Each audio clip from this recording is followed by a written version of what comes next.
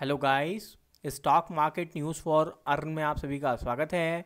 आज है eighth of जुलाई दोस्तों, बात करेंगे जहाँ मार्केट इतना ओवर वैल्यूड हो चुका है तो दोस्तों, ऐसा कौन सा सेक्टर है जहाँ पर दोस्तों फोकस किया जाए? तो दोस्तों, वो है इंफ्रा सेक्टर क्योंकि दोस्तों, जैसे ही मार्केट में गिरावट आएगी डेफिनेटली गवर्नमेंट के बहुत सारे पैकेजेस आएँगे इंफ्रास्ट्रक्चर के लिए, जिससे दोस्तों, यहाँ पर पूरे देश के अंदर इकोनॉमी के अंदर एक तेज़ी लाई जा सके।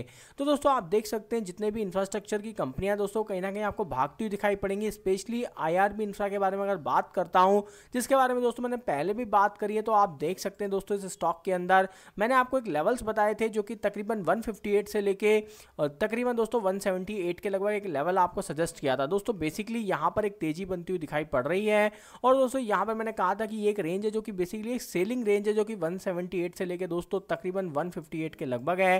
डेफिनेटली दोस्तों यहाँ पर एक ब्रेकआउट आने वाला है और दोस्तों आपको बड़ी तेज़ी यहाँ पर देखने के लिए मिलेगी।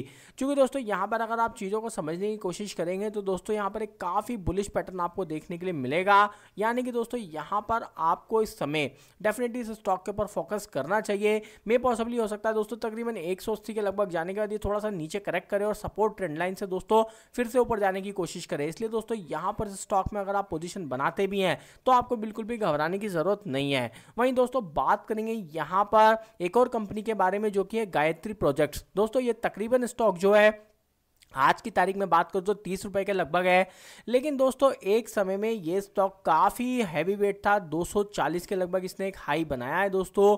लेकिन आप अगर अभी इसको देखेंगे तो दोस्तों, इसके अंदर एक बुलिश एनगल्फिंग हुई है, जो कि आप देख सकते हैं। यानी कि दोस्तों, यहाँ पर ये तैयारी कर रहा है अपनी सपोर्ट ट्रेंड लाइन के ऊपर आने की। तकरीबन इकतीस रुपये सत्तर पैसे का टारगेट तो आपको कल की तारीख में देखने के लिए मिल जाना चाहिए।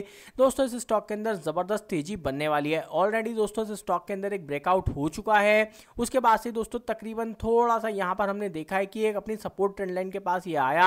इस पर गिरावट आई और दोस्तों डेफिनेटली ये ज़रूर नीचे चला गया अपनी सपोर्ट ट्रेंड लाइन से, लेकिन दोस्तों द्वारा लौटेगा। इस स्टॉक के अंदर दोस्तों, ज़बरदस्त तेज़ी बनने वाली है, इसलिए दोस्तों, इस स्टॉक के ऊपर आपका फोकस होना चाहिए। ये स्टॉक भी दोस्तों, आपको ज़बरदस्त पैसा बनाकर देगा। डिलीवरी तकरीबन पचास प्रतिशत की है। अगर बात करें तो दोस्तों, यहाँ पर देख सकते हैं कि अगर हम इंफ्रा की कंपनियों को देखते हैं तो डेफिनेटली उनके अंदर दोस्तों, जो नेट प्रॉफिट है, वो क्वार्टर फोर्थ में थोड़ा कम देखने के लिए मिल रहा है, जो कि अगर आप कंपेयर करेंगे क्वार्टर थ्री से। लेकिन दोस्तों यहाँ पर सिचुएशन कुछ अलग है।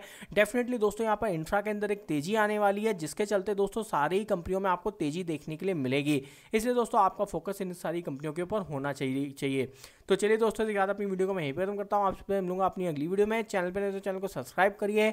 उसके आगे जो बेलाइकन दोस्तों प्रेस, प्रेस कर दीजिए। आपको अगली वीडियो का नोटिफिकेशन मिल जाएगा। वीडियो में कुछ भी इन्फॉर्मेटिव और अच्छा लाइक कर दीजिए और फ्रेंड के साथ ग्रुप शेयर मत भूलेगा चलिए थैंक यू